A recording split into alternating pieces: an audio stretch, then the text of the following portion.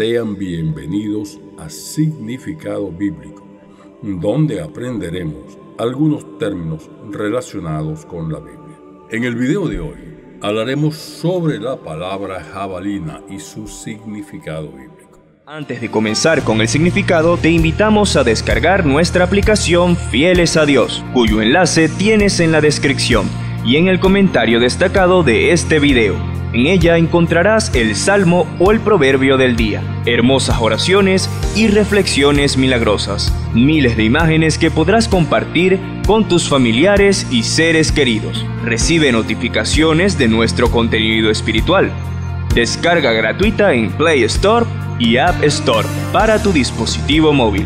Que Dios te bendiga.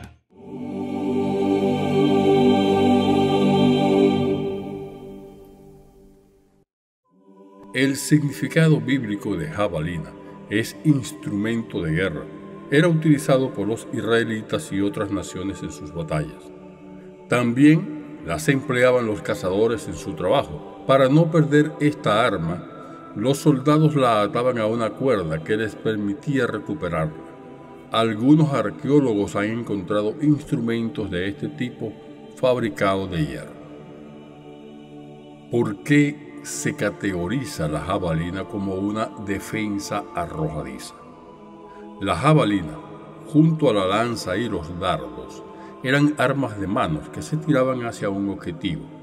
Estaba compuesta por un asta que tenía una punta afilada. Con ella el soldado podía estar a cierta distancia de su enemigo y enviar el instrumento hacia otro punto. Su finalidad era asesinar o herir a los demás. Este tipo de armamento era más pequeño y liviano que la lanza, lo que permitía que cualquier persona la sostuviera con la mano extendida. Los hombres de guerra, por lo general, la llevaban en la espalda, en un lugar que pudieran tomarla con su brazo más hábil.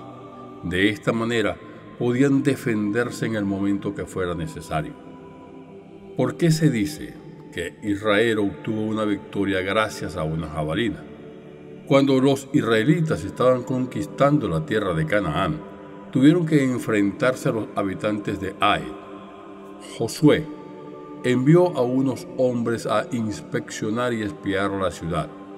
Estos le informaron que con solo 3.000 soldados lograrían someterlos. Sin embargo, ellos no pudieron alcanzar sus objetivos. Al ver lo sucedido, Josué se rasgó las ropas en símbolo de su desesperación. Jehová le indicó que la derrota se debía a que uno de los israelitas había pecado. Así que cada familia fue pasando delante de él.